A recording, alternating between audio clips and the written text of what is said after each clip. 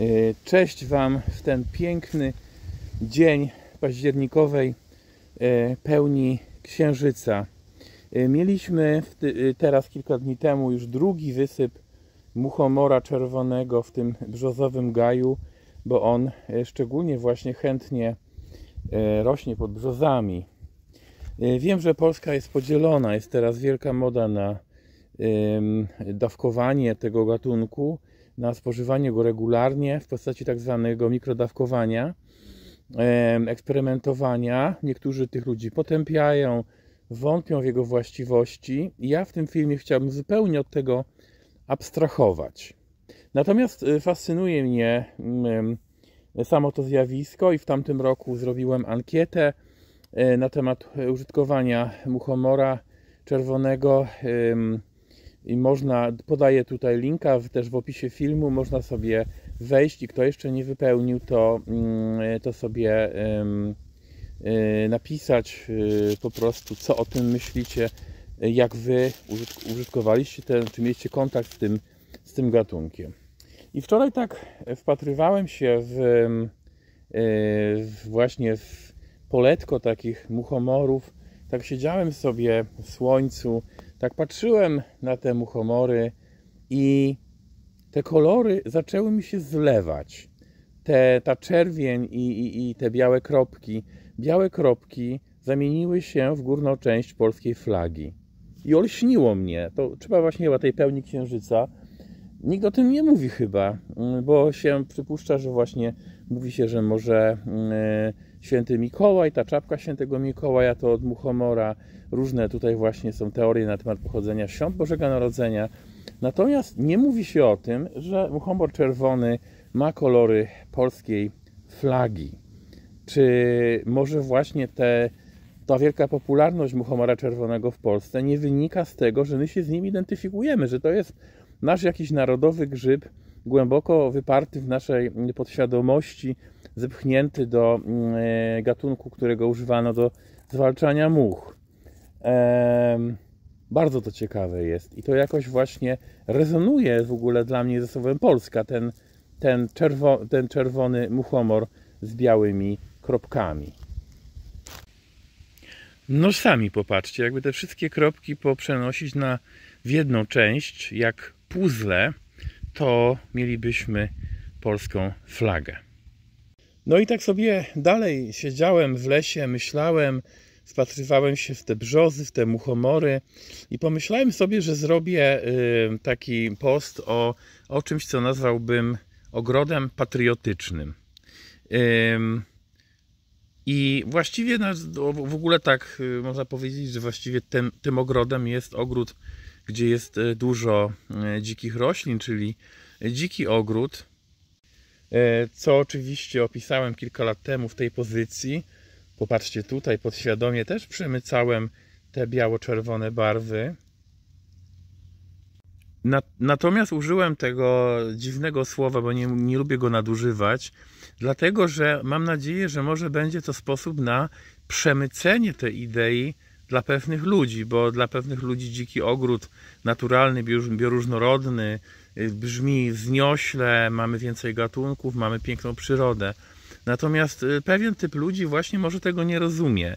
Czasem są to ludzie, którzy mają takie wy, właśnie wy, e, wylizane ogródki, chwalą się, że tak dbają o swój kraj, e, że y, o, o Polskę, ojczyznę, a tymczasem ją niszczą. Niszczą ją na co dzień, dewastując bioróżnorodność.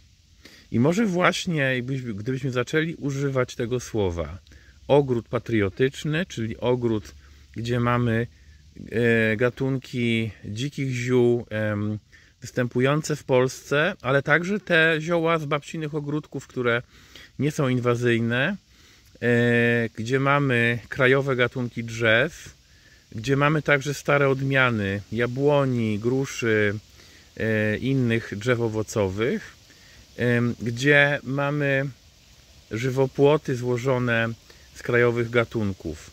E, I wtedy, jeśli mm, e, po prostu byśmy właśnie taki obraz przemycili, to może więcej osób takie ogrody założy. E, No więc, co zrobić, żeby żeby właśnie ten nasz ogród był patriotyczny. Po pierwsze, i to najważniejsze, wyciąć tuje. Po prostu wytnijcie je. Zostawcie, bo to jest piękne drzewo, zostawcie sobie jedno albo po jednym w każdym narożniku ogrodu, dlaczego nie? Ale jadę samochodem, gdzie nie jedziemy, czy to jest Podkarpacie, czy Mazowsze, czy Podlasie, wszędzie są, sadzą te tuje. Żywotniki inaczej. Tuje są, nie mają żadnych y, organizmów, które żerują w, y, na nich w naszym, y, w naszym ekosystemie polskim. Po prostu są takie bezużyteczne, poza tym, że produkują tlen i gniazdują w nich ptaki. Przy okazji chciałem Was znowu zachęcić do zasubskrybowania kanału, do pisania komentarzy, do wzmocnienia tego kanału, bo już bardzo, bardzo niewiele brakuje mu do 100 tysięcy i możemy razem mieć duży wpływ na to, co się w Polsce dzieje. No ale co po wycięciu tych tuj? No więc y, proponuję w tych miejscach posadzić szpaler z krajowych gatunków e, krzewów, które będą owocować jesienią, będą dawać pokarm dla ptaków. Same w sobie są mm, też roślinami, na których e, po prostu rozwijają się różne organizmy, e, które mm, no, też są, stanowią e, bioróżnorodność i oczywiście też ptaki gniazdują tak jak w tujach, a może nawet jeszcze dużo chętniej. Różnego rodzaju pokrzewki na przykład, one uwielbiają właśnie żywopłoty. No jest tutaj, będzie odpowiedź, no ale to nie jest zimozielone. No ale słuchajcie, tak naprawdę gęsty żywopłot, nawet który nie jest, nie jest e, zimozielony, on także daje nam prywatność, także osłania nas w sposób może bardziej taki subtelny niż e, żywopłot stój, a e, krzewy nie będą tak wysokie. Ludzie mają problemy, sadzą takie właśnie wysokie szpalery, a potem nie wiedzą, czy je ucinać, na wysokości dwóch metrów, czy je prowadzić dalej, a one zacieniają nasze ogrody i ogrody sąsiadów. E, patrząc na ogrody angielskie, właściwie na takie wiejskie ogrody, na, e, gdzie właśnie żywopłotów jest dużo, bo w Anglii był od ponad tysiąca lat zwyczaj ogradzania pastwisk żywopłotami, możemy podpatrzeć, jak to wygląda, jak się to utrzymuje, jak się użytkuje, a także mm, e, możemy popatrzeć na gatunki krzewów, które oni używali czy używają, bo u nas są podobne. Więc e, tam się używa na pierwszym miejscu głogu, który ma tą wielką zaletę, że dobrze się go przycina i także e, zaleta i wada. Nie daje odrostów, a więc nie będzie się panoszył na boki. Co też jest wadą, bo jak chcemy wzmocnić żywopłot i powiedzmy mm, chcemy jakieś sadzonki uzyskiwać, no to wtedy musimy wszystko robić z siewu. Bardzo dobre do żywopłotów y, dzikich są też y, dzikie róże. Mamy ich w Polsce kilkanaście gatunków i po prostu jest to też roślina niezbyt duża, którą też się bardzo można efektywnie przycinać. Kolejną rośliną jest tarnina, choć z nią trzeba uważać, bo ona daje odrosty i może z czasem mieć tendencję do opanowania mm, żywopłotu. Używa się też ałyczy, czyli miraberki, która, mirabelka, która jest, nie jest rodzima, ale pochodzi z Bałkanów i właściwie jest już świetnie zadomowiona w naszym krajobrazie i niektórzy nawet myślą, że, że jest tutaj nasza krajowa. E, bardzo dobry jest też berbery zwyczajny, ten zwyczajny, nie ten mały japoński, e, tylko trzeba pamiętać, że on też roznosi Rdze jest jednym z żywicieli właśnie rdzy co też szkodzi uprawom pszenicy, więc może przy, przy pszenicy tego, tego nie sadźmy. Mm, poza tym mm, z takich gatunków leszczyna, która oczywiście trochę się ją źle przycina, daje takie potem bardzo silne odrosty. Podobnie silne, silne odrosty daje bezczarny, więc one są może takie trochę mniej pożądane w żywopłocie. Także możemy robić żywopłoty z drzew liściastych. Bardzo ładnie przyjmuje się grab i daje świetne żywopłoty. Trzyma liście całą zimę, więc zasłania nas od, od, od wiatru, od sąsiadów.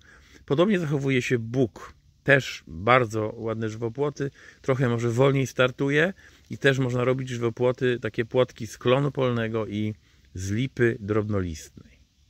Kolejnym drzewem jest wiąz polny, który na dodatek daje odrosty, a więc potem się bardzo ładnie ten żywopłot zagęszcza. Natomiast wiąz polny jest niezwykle ekspansywny w żywopłocie i ma tendencję do przerastania innych gatunków. Podobnie dereń świdwa też właśnie przerasta. Do żywopłotu takiego mniej obcinanego, takiego szpaleru, możemy też użyć kalinę koralową. Przepraszam za kaszel, ale wychodzę z jakiejś takiej kilkutygodniowej infekcji. Po prostu e, już jest dobrze, ale, ale nie jest idealnie. E, no i poza kaliną, e, jeszcze z takich roślin spotykanych właśnie nad rzekami, zaroślach, na pewno szakłak, który jest takim bardzo gatunkiem mało zauważanym, a jest to bardzo sympatyczny krzew, nadający się właśnie do, mm, do zakrzewień, do, do szpalerów. Na dodatek wierzono, że szakłak chroni od złych mocy. Robiono takie kije szakłakowe specjalnie, można go posadzić sobie na rogach pól. E, podobne działanie ma kłokoczka południowa. Bardzo rzadki krzew z południa Polski, ale też oczywiście super do posadzenia e, szpalerze mm, krzewów. E, nie wiem, czy sadziłbym specjalnie jeżyny, bo one są potem kłopotliwe, trudno je ogarnąć, dają takie długie odrosty i ciężko się je przycina, ale one też należą jakby do tego właśnie ekosystemu szpalerów, żywopłotów liściastych.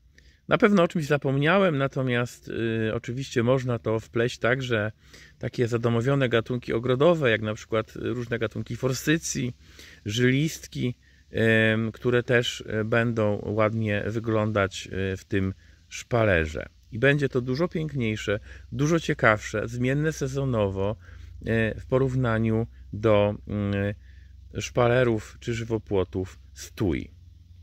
Kolejną rzecz, którą polecam do patriotycznego ogrodu jest zamiana różnych iglaków obcych na jałowce na jałowiec pospolity, tak, nie żaden skyrocket, tylko Juniperus communis. Idziemy do szkółki i sprawdzamy Juniperus communis.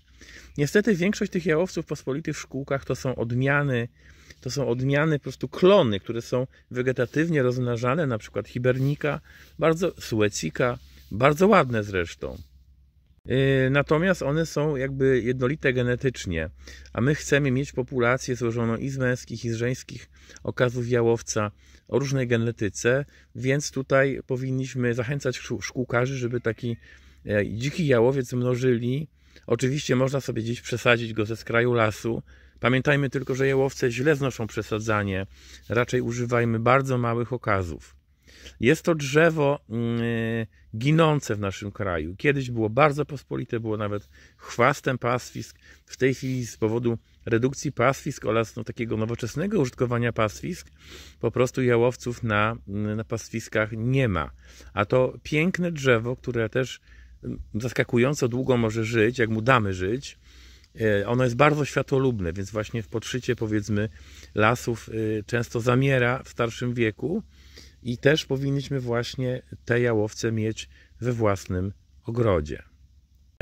I oczywiście y, wszystkie rodzime gatunki leśne, zależy kto gdzie mieszka, co lubi, ale mamy też piękny wybór kilkudziesięciu drzew, y, które są dostępne w szkółkach nawet teraz, i to leśnych, i też ogrodniczych.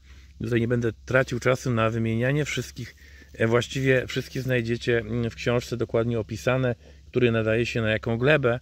No ale tak ciurkiem wymienię dąb szypułkowy, bezszypułkowy, też bardzo piękny, e, brzozy krajowe, lipy, wiązy, klony, świerki i tak dalej, i tak dalej.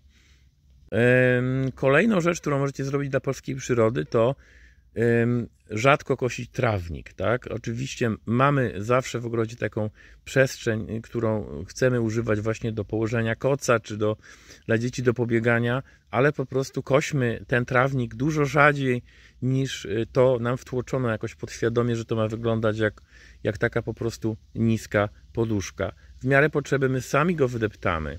E, no i oczywiście, żeby ten trawnik był jak najmniejszy, żeby reszta ogrodu była zamieniona albo w łąkę, albo w rabaty z gatunkami, które mogą stanowić pożytek dla przyrody i dla nas.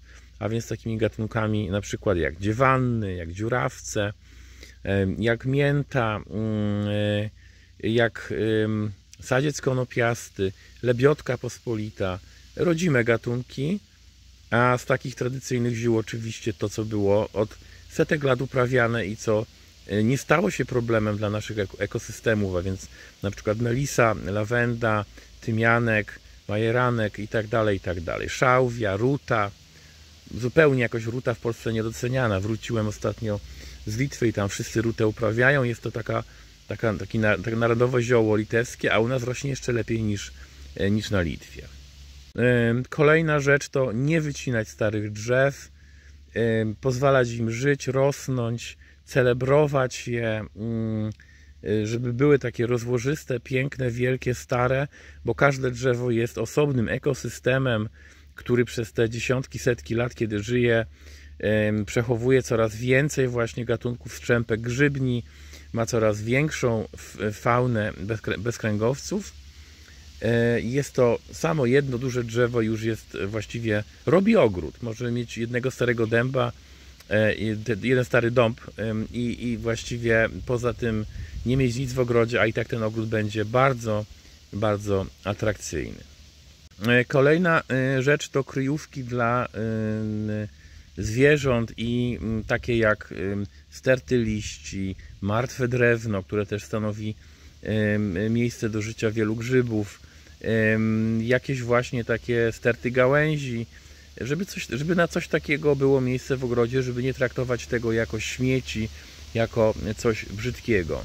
Musimy trochę przestawić naszą estetykę z estetyki klinkieru, blichtru, śliskości na estetykę chropowatości, tak jak kiedyś były chaty drewniane, które miały strzechy, różne zakamarki, e, otwory pożerujących owadach. E, ja ostatnio byłem w pięknym parku akcji Burza w Warszawie, gdzie właśnie podziwiałem taką specjalnie stworzoną chropowatą fakturę mm, e, ścian, takich murów z gruzobetonu, które właśnie są idealnym siedliskiem do życia mm, różnych organizmów.